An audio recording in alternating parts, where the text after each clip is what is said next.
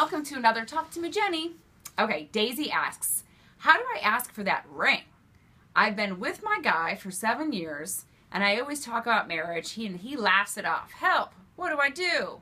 Seven years, Daisy? Girl, if he hasn't asked you in seven years, um, I'm not sure he will. I mean, there's some people that don't really believe in getting married. Um, a lot of people are scared to get married, but you clearly need to have um, a talk and kind of give him an ultimatum. And I know some guys might think that that's just awful to do, but after seven years, if you have a dream and a fantasy and a goal and a vision to be married and have children and your partner doesn't, he might not be the one.